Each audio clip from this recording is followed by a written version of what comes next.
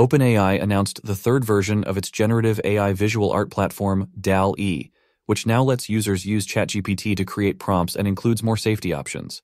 DALL-E 3 is the latest version of OpenAI's text-to-image generation Model 1. It represents a significant improvement over its predecessor. DALL-E 2 DALL-E 3 is capable of understanding much more nuance and detail, allowing users to translate their ideas into exceptionally accurate images. It can accurately represent a scene with specific objects and the relationships between them, 1. It also delivers significant improvements when generating text within an image and in human details like hands 1. One of the key features of DALL-E 3 is its integration with ChatGPT. Users can use ChatGPT as a brainstorming partner and refiner of their prompts. When prompted with an idea, ChatGPT will automatically generate tailored, detailed prompts for DALL-E 3 that bring the idea to life. DALL-E 3 is currently in research preview and will be available to ChatGPT Plus and enterprise customers in October via the API, and in labs later this fall one.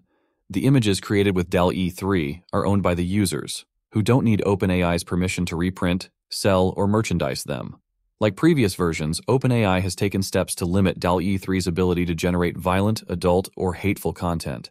It also has mitigations to decline requests that ask for a public figure by name. OpenAI is also researching ways to help people identify when an image was created with AI. They're experimenting with a provenance classifier, a new internal tool that can help identify whether or not an image was generated by DALL-E 3. DALL-E 2 brought a revolution in the text-to-image field.